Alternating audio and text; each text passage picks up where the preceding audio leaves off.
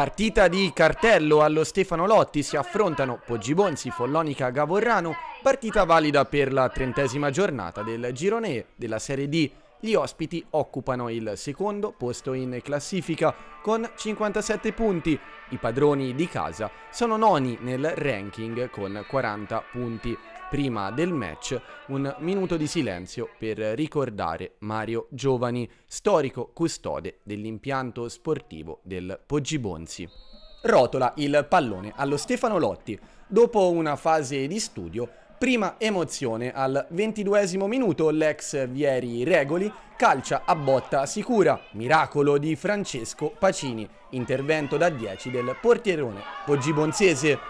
27 sul cronometro, calcio d'angolo per il Poggibonsi, stacca di testa Borri, pallone fuori di poco, occasionissima per i giallorossi oggi in casacca azzurra. 35esimo, ancora una volta Pacini si oppone in maniera magistrale a Regoli e in questa fase della partita il Follonica impensierisce più volte i Leoni. 42esimo, Poggibonsi pericoloso nuovamente da calcio piazzato, Rocchetti raccoglie il traversone, c'è la parata di Filippis che mette in calcio d'angolo, poi qui Mazzolli con un buon tentativo manda il pallone fuori di poco. Nell'extra time Motti, autore di un primo tempo di ottima fattura con caparbietà e tecnica individuale, sferra un fendente velenoso che si deposita in rete 1-0 per il Poggibonsi che gol per il numero 9. Finisce qui il primo tempo. Inizia la ripresa con il Poggibonsi in vantaggio dopo una manciata di istanti. Motti fa un'azione clamorosa,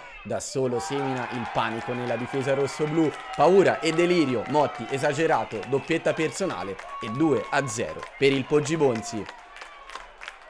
I leoni sono sugli scudi e volano sulle ali dell'entusiasmo, producono due azioni consecutive, ma in entrambi i casi non arriva il terzo gol. Dopo queste folate, Bigica non è preciso, la sua conclusione non è nello specchio. Dopo il grande inizio di ripresa da parte dei leoni, il Follonica Gavorrano prova a reagire, l'ex Dierna adesso capitano del Follonica Gavorrano con i tempi giusti incorna di testa e accorcia le distanze. Il risultato è 2 a 1. Ventesimo minuto. Prodezza balistica di Mazzolli, lui è uno specialista dei calci piazzati, traiettoria dalla geometria perfetta, Filippis tocca ma non riesce ad evitare il 3-1, 22esimo Macri prova ad imitare Mazzolli ma sulla sua strada trova il solito Pacio il quale respinge, ancora Follonica ma il seguente tentativo seppur buono non punge si rimane sul 3-1 per i Leoni. 28 sul cronometro dell'arbitro acqua fredda di Molfetta, il pallone giunge in aria sui piedi di Marcucci, c'è gloria anche per il classe 2004 che segna il gol del 4-1, il risultato assume i connotati di una goleada.